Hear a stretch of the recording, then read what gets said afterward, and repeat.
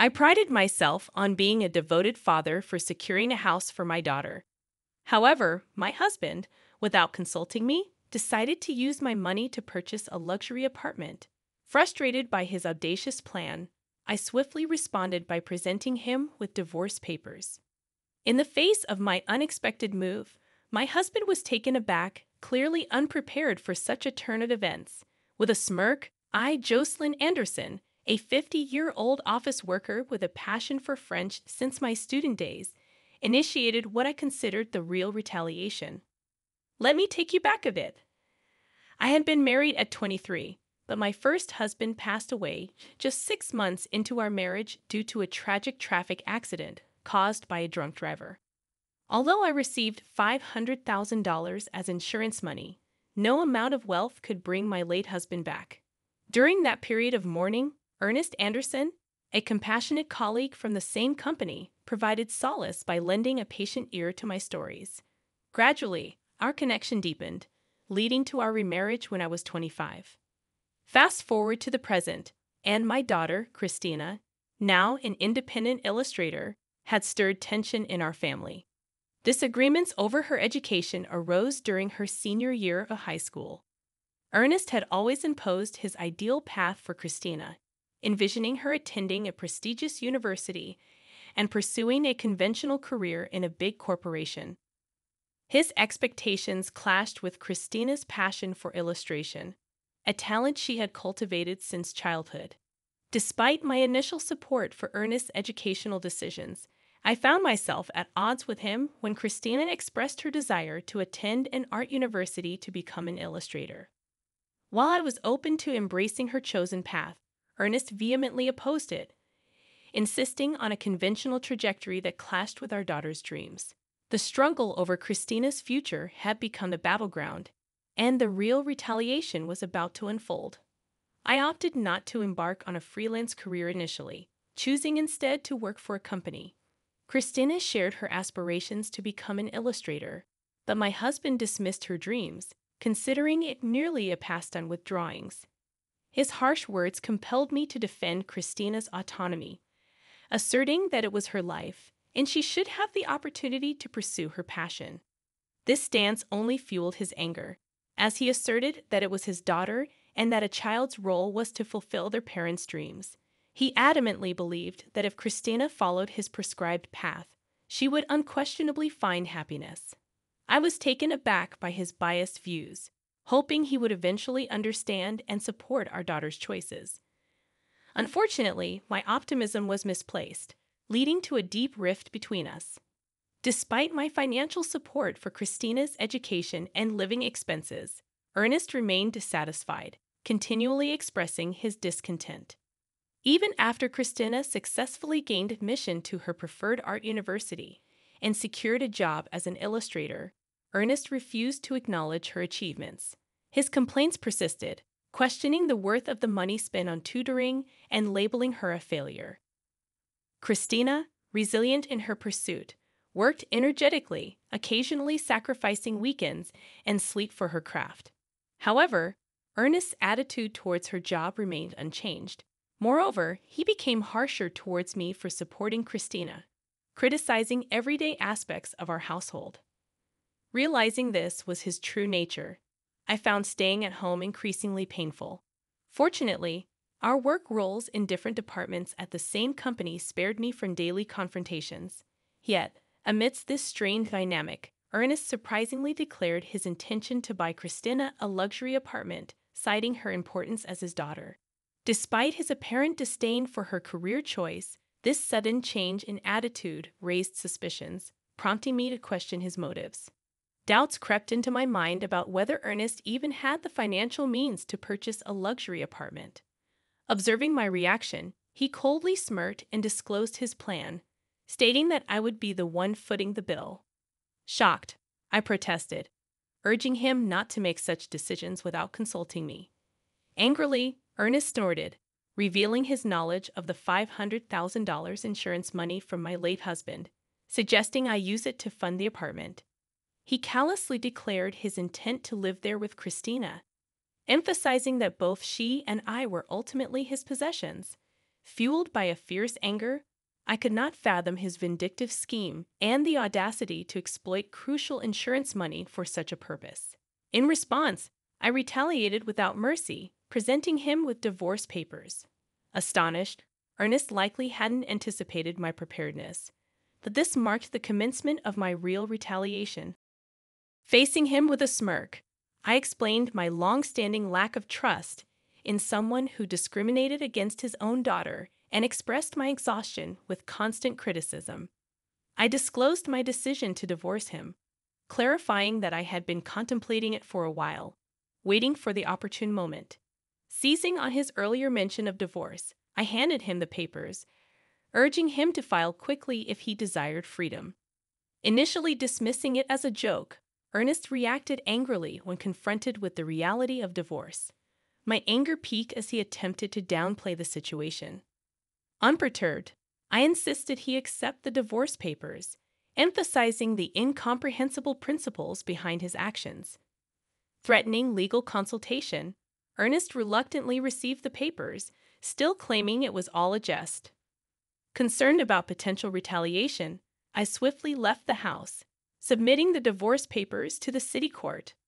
I promptly informed Christina about the outrageous behavior, and she too expressed fury. She condemned her father's actions and offered solace, suggesting that I stay at her apartment for a while. So, I made the decision to spend the night at Christina's place. That evening, we delved into discussions, meticulously planning our next moves against Ernest. About a week later, on holiday, Christina and I paid a visit to Ernest's house, the place I had called home until just a week prior, now feeling like a distant stranger's abode. Upon ringing the doorbell, Ernest swiftly emerged, adopting a condescending gaze as he questioned our purpose.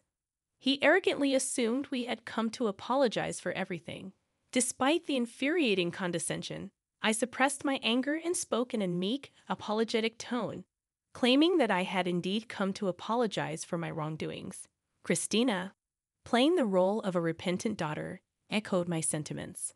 Oblivious to the theatrics, Ernest appeared genuinely pleased, believing we had come to our senses. However, his curiosity was piqued when he noticed the bags we carried, bags so full they were on the verge of bursting, tied up tightly to conceal their contents. From one of the bags, I extracted a bundle of actual $10,000 bills. Expressing remorse for my actions, I offered him some of my late husband's insurance money, urging him to use it to live in the luxury apartment with Christina. I mentioned the $500,000 total and asked him to keep it safe. Ernest's eyes gleamed at the sight of the money, and he eagerly agreed to safeguard it. He led us into the house without hesitation. Despite having left just a week earlier, the place was in disarray, with laundry and garbage scattered about. Suppressing laughter, I imagined Ernest's struggle to maintain the house on his own. Christina and I placed the bag's contents into the safe, excluding the $10,000 bundle. Fortunately, when Ernest went to the kitchen to make coffee, he remained oblivious to our actions. After returning to Christina's apartment, I grabbed the bags and left for a new place on my own. Christina bid me farewell with a smile, assuring me she would contact me once she was settled. Two days later, while I was peacefully asleep in my new residence, Ernest called, inquiring about the $500,000.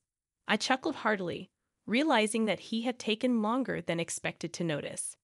Ernest had fallen for our trap. The bags mostly contained just newspapers, cleverly arranged to create the illusion of holding $500,000. I had only prepared $110,000 from the bank to make Ernest believe my ruse. After depositing that money back into my account, it was no longer in my possession. If Ernest had probed further and asked to see inside the bags, I intended to reveal the truth, asserting that such an incredible deal couldn't possibly be genuine. However, deceived by just the $10,000, Ernest had been completely fooled. I had only prepared $110,000 from the bank to make Ernest believe me. After depositing that money back into my account, it was no longer in my possession. If Ernest had probed further and asked to see inside the bags, I intended to reveal the truth, asserting that such an incredible deal couldn't possibly be genuine. However, deceived by just the $10,000, Ernest had been completely fooled. Until now, you did terrible things to Christina and me, so I thought it was only fair to retaliate like this. If you want to resent someone, resent your past self, not me, I calmly stated. Ernest, looking troubled, began to plead, admitting his faults and asking me to return. Shocked by his selfish reasoning, I firmly rejected his proposal. I'm not an ATM or your housekeeper. You're an adult, handle it yourself. Besides, I'm in France now. This isn't just a vacation, it's an overseas transfer for work. I decided to divorce you and start a new life abroad. I revealed, explaining my decision to pursue my dreams and escape from him. Ernest, perplexed by the news, questioned why I hadn't informed him earlier. I dismissed his query, stating that we were practically strangers now, working in different departments. Furthermore, I revealed that Christina would contact him the next day through a messaging app. The following day, amidst the early hours due to the time difference, I initiated a video call through the messaging app with Ernest and Christina. Christina began expressing her sentiments, reminiscing about her childhood adoration for Ernest, but quickly transitioning to her current disdain. You completely dismissed my career choice. That's when I saw your true nature. You just wanted to control me. There was no love. Now, I hate you and never want to see you again. This call is the last time we'll speak. I'm cutting ties, Christina declared firmly, leaving Ernest visibly distressed. Unexpectedly calm, Ernest pleaded for her understanding, seemingly assuming Christina would always adore him. However, Christina remained resolute, urging him to reflect on his actions. She then informed him that she had moved advising him not to attempt to locate her new address through investigators or any other means. Adding to her announcement, I informed Ernest that I had informed his workplace, relatives, and parents about the reasons for our divorce, ensuring transparency about our decision. With that, the call concluded, leaving Ernest to reflect on the consequences of his actions. After ending the video call with Christina, I mirrored her actions, ignoring Ernest's pleading apologies. His remorse no longer held any significance to me. Christina expressed a sense of relief, feeling liberated after voicing her true feelings. Executing our plan brought a semblance of satisfaction, especially witnessing the impact it had on Ernest. In the aftermath, Ernest faced consequences at various fronts. He became uncomfortable at work and eventually resigned, Disowned by relatives and parents, he had to abandon the luxury apartment purchase. His disruptive actions even led to a scene at Christina's workplace, resulting in a ban for entering. Ernest's selfish choices resulted in a cascade of losses, and he retreated into a reclusive existence at home. Attempts to contact him for work related matters were in vain. When a colleague finally visited his house, they encountered a disheveled Ernest with a wild beard, lifeless face, and a nauseating odor emanating from his abode. His once home had transformed into a ghostly garbage dump. Observing Ernest's miserable life, I couldn't help but think that he was reaping what he sowed. Meanwhile, I found happiness in my new life abroad, overcoming cultural barriers with careful communication and relishing the use of my French skills. The decision to transfer overseas proved to be a rewarding one. Christina, thriving in her career as an illustrator, had been entrusted with significant projects. In our phone conversations, she conveyed her satisfaction, emphasizing the joy of pursuing her passion. As a parent, witnessing my daughter shine in her chosen path brought immense gratification. Despite the challenges and adversities, both Christina and I emerged from the ordeal radiant and fulfilled in our respective lives. The journey, though tumultuous, affirmed that we had made the right choices and the pursuit of our dreams had led to a brighter and more gratifying existence.